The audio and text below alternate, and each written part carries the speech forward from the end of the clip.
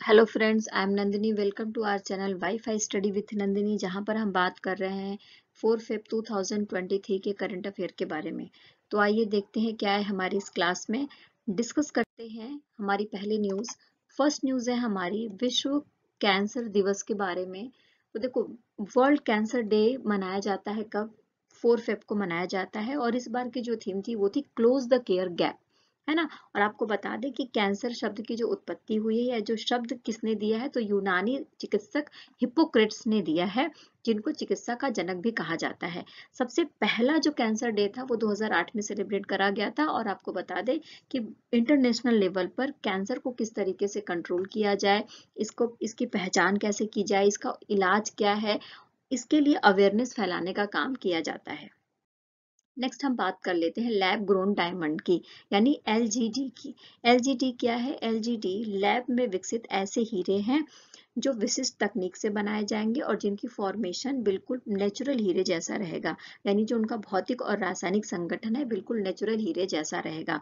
इसके लिए जो आईआईटी मद्रास है, उसको पाँच साल के लिए 242 करोड़ रुपए का अनुदान दिया जा रहा है, जिससे वो इस तरीके का की मशीनें बनाएँ जो ये कृत्रिम हीरे बना सकें और वो वो सारी टेक्नोलॉजी विकसित करें जिसके माध्यम से इस तरीके के हीरों को बनाया जा सके। नेक्स्ट हम बात कर लेते हैं अंतर्राष्ट्रीय सौर संगठन के बारे में। अंतर्राष्ट्रीय सौर संगठन का जो मुख्यालय है, वो भारत के गुरुग्राम में है। और आपको बता दें कि अंतर्राष्ट्रीय सौर संगठन पर 113 देशों ने इसके फ्रेमवर्क पर पहले ही समझौता कर लिया है। अब इस समझौते पर पहले ही हस्ताक्षर कर दिया है और 86 कंट्रीज़ ऐसी हैं जो इस पर साइन कर देंगी। और साथ में ही जो हाँ और इस अंतर्राष्ट्रीय सौर संगठन में कांगो भी अब शामिल हो गया है। है ना? तो देखो one sun one world one grid इस जब ये संधि करी गई थी तो ये ये जो बात कही गई थी कि वन सन वन वर्ल्ड और वन ग्रिड के बारे में बात किया गया था और साथ में ही 30 नवंबर 2015 को फ्रांस के राष्ट्रपति और भारत के जो प्रधानमंत्री थे, उनके प्रयासों से ही पेरिस में ऐसा हो पाया। पेरिस में कोप सम्मेलन था 21 और जिसमें 121 सौर संसाधन समृद्ध देशों के साथ ये जो अंतरराष्ट्रीय सौर गठबंधन है, उसको शुरू किया गया था। कांगो लोकतांत्रिक गणराज्य के बारे में अगर हम बात करेंगे तो देखो, ये अफ्रीका का दूसरा सबसे बड़ा देश है। यानी अगर इसको हम क्षेत्रफल के एरिया वाइज देखें तो दूसरा सबसे बड़ा देश है। इसकी जो राजधानी है, वो किशानसा है। मुद्रा यहाँ की कांगो फ्रैंक है और यहाँ की जो कांगो नदी है, वो भूमध्य रेखा को दो बार पार करती है। ये अपने आप में एक विश्व की एकमात्र नदी है। अब हम बात कर लेते हैं कि भारतीय रेलवे, जो देखो, जो रेल मंत्री कौन है? अश्विनी वैष्णव जी। तो अश्विनी वैष्णव जी ने घोषणा करी है कि भारत में भी हाइड्रोजन ट्रेन दिसंबर 2023 तक बनकर तैयार हो जाएगी। और पहली जो हाइड्रोजन ट्रेन है, वो कालका और शिमला जो हेरिटेज सर्किट है, उसके बीच में चलाई जाएगी। और आपको बता दें कि अभी हमारा बजट सेशन हुआ है तो बजट सेशन में बजट लागू किया है तो रेल बजट के लिए रेल बजट के लिए 2.41 लाख करोड़ रुपए दिए गए हैं वित्त मंत्री निर्मला सीतारमण के द्वारा। और अब पहले की तरह से रेल बजट अलग से प्रस्तुत नहीं होता बजट में ही रेल बजट का हिस्सा प्रस्तुत किया जाता है वित्त मंत्री निर्मला सीतारमण के द्वारा। गवर्नमेंट ई मार्केट प्लस जो जेम है, उसने क्या किया है? चालू वित्त वर्ष में 1.5 लाख करोड़ रुपए का सकल मर्चेंडाइज मूल्य हासिल किया है।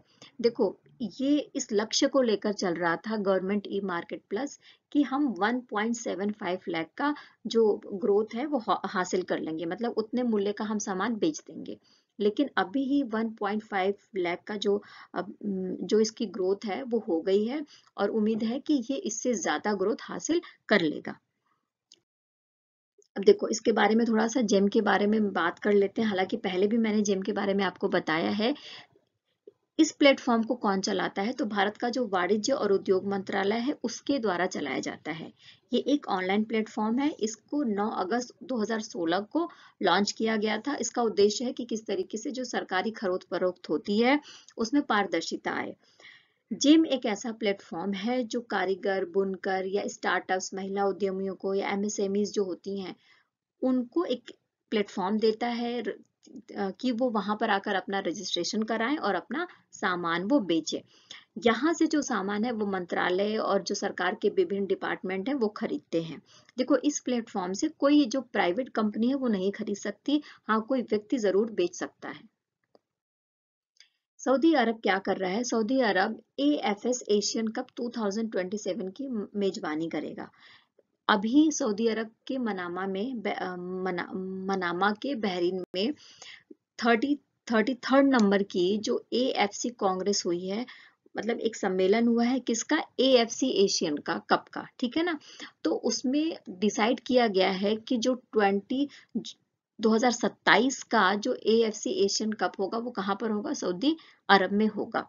और अक्टूबर 2023 में शुरू होने वाले क्वालिफाइंग चरण के साथ टूर्नामेंट से पूरे एशिया का सबसे रोमांचक प्रतिभा शामिल होगा, ठीक है? एएफसी एशियन कप क्या है? तो ये भी अंतरराष्ट्रीय फुटबॉल एसोसिएशन प्रतियोगिता है, जो एशियाई फुटबॉल संघ के अंतर्गत आती है, ठीक है ना? और एशियाई फुटबॉल संघ की समिट जो हुई थी सऊदी अरब के मनामा में, उसी में ये डिसीज़न लिया गया कि 2027 का जो एएफसी एशियन कप है, वो कहाँ पर होगा? सऊदी अरब में संचालित होगा। केंद्र सरकार ने किसानों की आय को बढ़ाने के लिए पीएम कुसुम योजना शुरुआत की है। देखो, अब सबसे पहले कोई भी पीएम कुसुम, ये जो शब्द है, इसकी मीनिंग को समझना ज़रूरी है। इसके फुल फॉर्म के बारे में बात कर लेते हैं। तो पीएम मतलब प्रधानमंत्री, कुसुम का फुल फॉर्म है किसान ऊर्जा सुरक्षा एवं उत्थान महाभियान। है ना? क्या है? किसान ऊर्जा सुरक्षा एवं उत्थान महाभियान।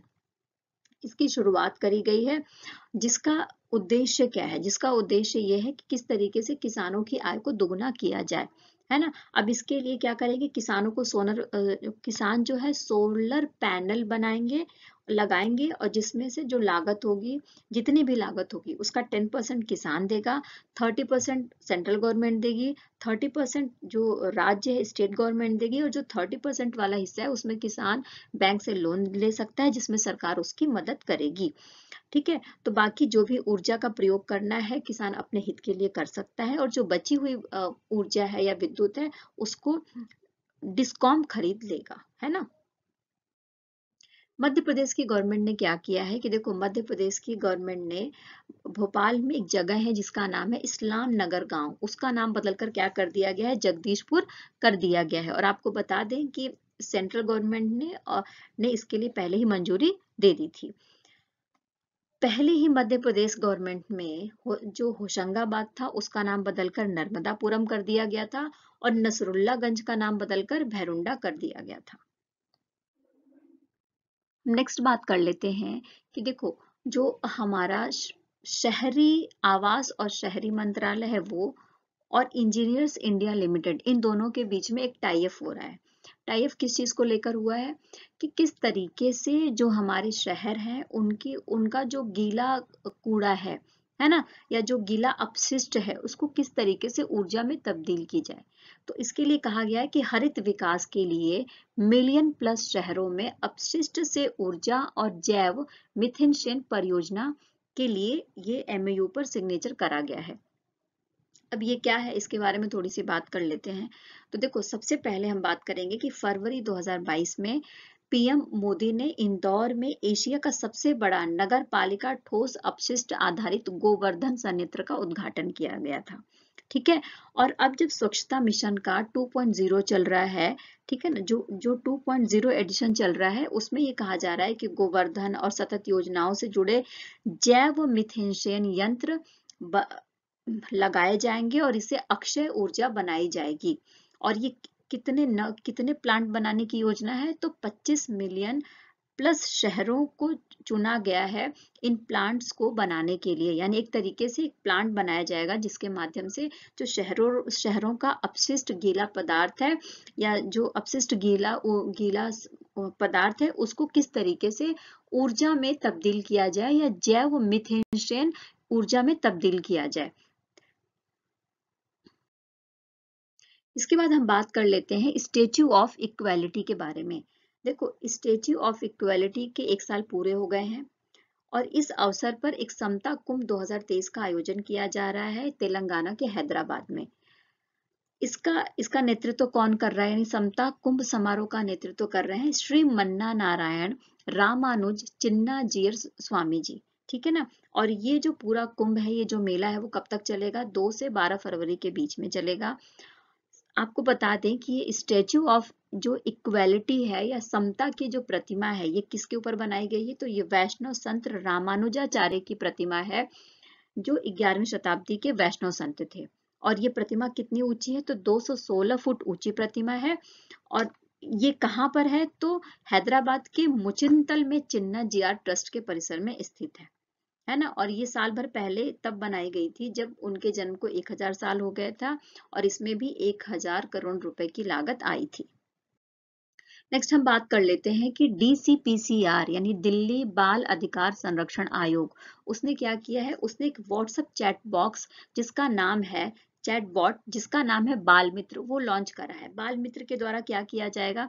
तो देखो बाल मित्र के द्वारा व्हाट्सएप के ज़रिए एक ऐसा प्लेटफॉर्म दिया जा रहा है जहाँ पर जो दिल्ली बाल अधिकार हाँ ऐसा प्लेटफॉर्म दिया जा रहा है जहाँ पर लोग अपनी शिकायतों को रजिस्टर कर सकें, जो भी उन्हें बच्चों से रिलेटेड या जो जो भी उन्होंने शिकायतें दर्ज की हैं उस पर नज़र रख सकें और उनकी जो भी जानकारी है वो ले सकें, उनको जो कुछ भी इससे रिलेटेड सूचना चाहिए वो मिल सके। है ना? तो इस उद्देश्य से एक चैट बॉट बनाया गया है डीसीपीसीआर के द्वारा। इसका उद्देश्य है कि किस तरीके से जो हमारे बच्चे हैं, उनको सुरक्षित किया जाए, है ना? और किस तरीके से आयोग और जो बच्चे हैं या उनके पेरेंट्स हैं, उनके बीच में कम्युनिकेशन को बहुत अच्छे से इंक्रीज करा जाए। उड़े देश का आम नागरिक उड़ान योजना के तहत क्या हो रहा है कि जमशेदपुर से कोलकाता फ़्लाइट शुरू करी गई है।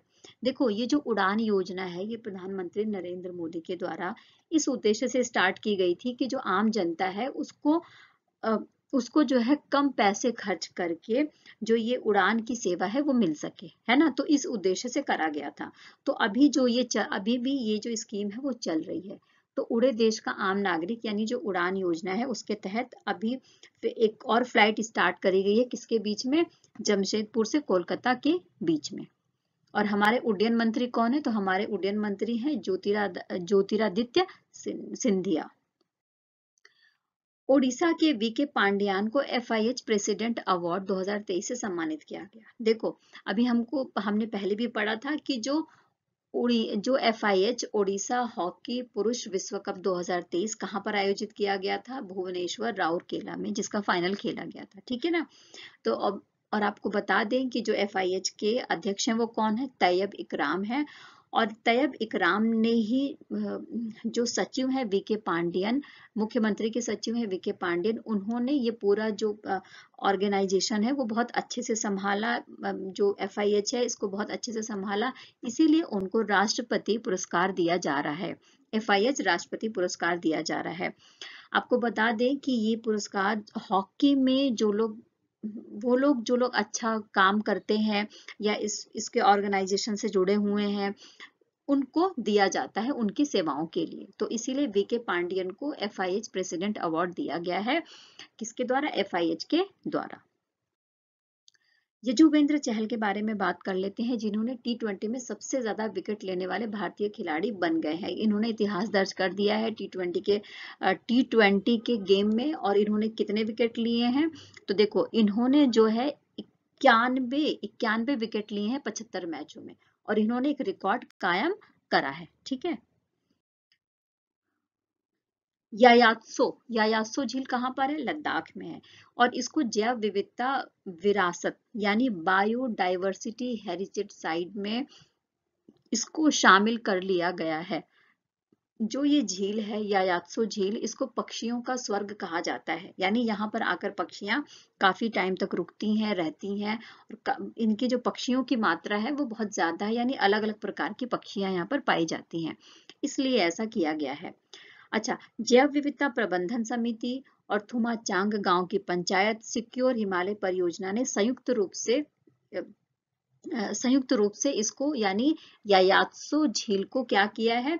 जैव विविधता जो बायोडाइवर्सिटी जो हेरिटेज साइट है उसमें शामिल करने की घोषणा करी है। जैव विविधता विरासत क्या होती है? तो देखो, जैव विविधता विरासत जो है, वो हमारे जो जीव, जंतु हैं, उनको बचाकर रखने के लिए और वहाँ पर जो उनकी विविधताएँ हैं, उनको प्रदर्शित करने की एक सूची प्रदान करती है है ना? तो उसको जैव विविधता स्थल कहते हैं।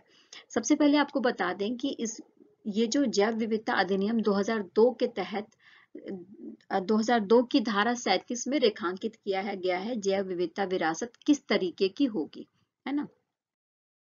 भारत को 2025 में मैड्रिड अंतर्राष्ट्रीय पुस्तक मेले में मुख्य देश के रूप के तौर पर आमंत्रित किया गया। हमने अभी कुछ टाइम पहले पढ़ा था कलकत्ता बुक फेयर, ओके? तो वहाँ पर हमने इस जो हमारा जो थीम था स्पेन हाँ जो स्पेन था वो क्या था? थीम देश था। इसी तरीके से मैड्रिड पुस्तक मेला होगा 2025 में और इस इंटरनेशनल बुक फेयर के लिए जो थीम देश है वो कौन है? भारत है। एर्नाकुलम दस हज़ार नए एमएसएमई पंजीकृत करने वाला पहला जिला बन गया है। एर्नाकुलम जिला कहाँ पर है? तो केरल में है। और आपको बता दें कि केरल जो स्टेट है, उसने एम एस एम एमएसएमई को बढ़ावा देने के लिए जो पिछला उसका 2022-23 वाला जो टाइम था, उसको उद्यम वर्ष के रूप में सेलिब्रेट किया था। ठीक है ना उद्यम और साथ में ही माई इंटरप्राइजेस नेशंस प्राइड ये जो टैग लाइन है, इसके साथ में एमएसएमई को बढ़ाने के लिए काम करा था किसने? केरल सरकार ने। और इसीलिए उद्यम अभियान भी चलाया गया था 22-23 में और उस 2022-23 को उद्यम वर्ष के रूप में भी सेलिब्रेट किया गया था केरल सरकार के द्वारा। अब जो एर्नाकुलम, जो जिला है केरल का, वो दस हज़ार नए वहाँ पर दस हज़ार नए जो एमएसएमईज हैं, उनको रजिस्टर्ड कराया गया है। तो ये अपने आप में क्या है, एक रिकॉर्ड बनाया गया है। प्रसिद्ध कन्नड़ लेखक कौन है? केवी तिरुमलेश। उनका हैदराबाद में निधन हो गया और आपको बता दें कि इन्होंने भी साहित्य अकादमी पुरस्कार, इन्होंने साहित्य अकादमी पुरस्कार जीता था और इसीलिए बहुत इंपॉर्टेंट हो जाते हैं। ये कौन है? कन्नड़ लेखक है, जिनका नाम है केवी तिरुमलेश। इनका 82 वर्ष के में निधन हुआ है, ठीक है?